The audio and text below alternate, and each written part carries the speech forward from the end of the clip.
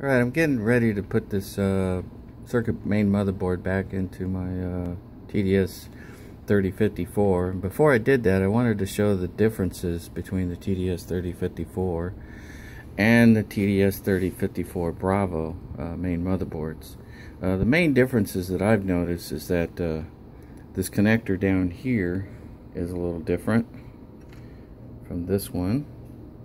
Also, uh, there's an interface connector right here that's a little that's different from this one. Also uh, you'll notice that uh, this one seems to be missing some some chips right in here as compared to this one.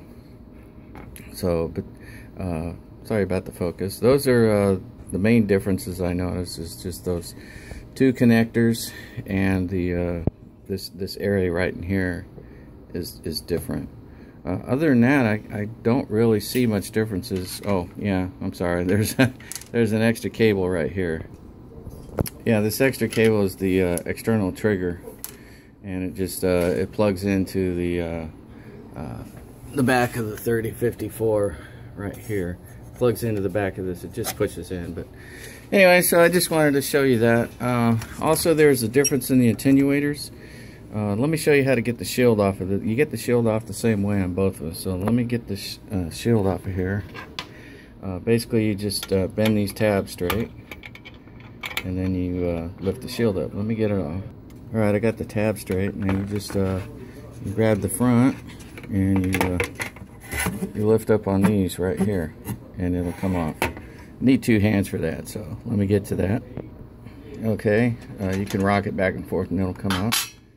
All right, here's the uh, here's uh, the uh, 3054.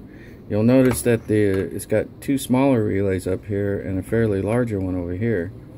But when you go to the Bravo, all the relays are the same.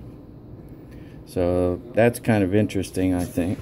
Uh, this one actually has a repair done to it. That's the 3050, or I'm sorry, that's the uh, 50 ohm load input uh, resistor on the board it was burned out. It's it's in one of my uh, videos that talks about these attenuators.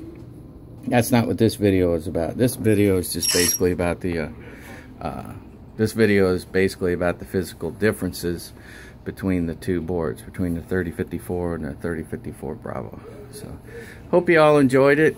I don't know a lot about the boards, but I know a little bit, and most of it is dealing with this because the scopes that I was dealing with, which is these two, uh, the problem has been uh, the attenuator uh, input assemblies modules, and from what I understand, that's that is the major problem with these uh, scopes is that the uh, the modules burn out fairly easily.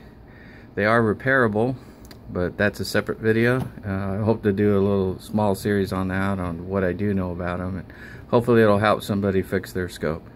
Y'all take it easy. Uh, give me a thumbs up if, if you like the video, and if you'd like to see some more like this. Uh, if you didn't like the video and you want to give me thumbs down, that's fine. Just tell me why you gave me a thumbs down.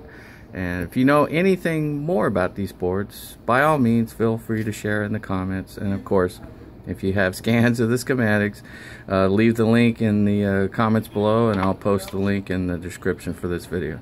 God bless you all and best wishes and Keith Noneya out. Bye.